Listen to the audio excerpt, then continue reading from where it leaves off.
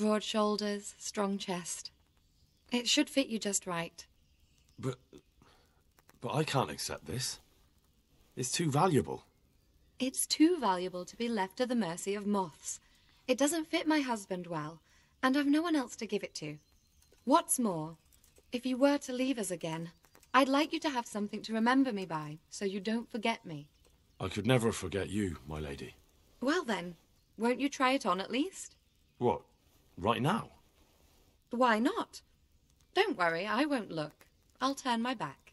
And what if your husband comes in? He won't. Neither will anyone else. I feel truly blessed to have you here. So long I yearned for young company. I really feel God heard my prayers and sent you to me. I'm ready. My, you do look handsome. As fine as any gentleman. When I was a little girl, there were always lots of other children around and young men and women of the court. It was so merry. I always hoped it would be like that when I was grown up, too. But it was not God's plan.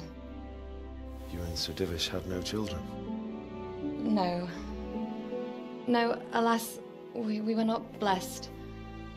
Twice I was with child, but they did not live. And now I fear there's no hope for me.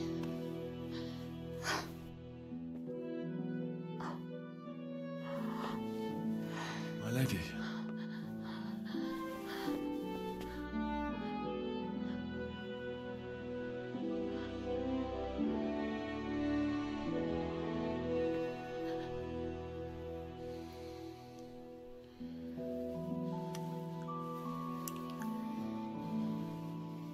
Forgive me, my lady. I, I shouldn't have.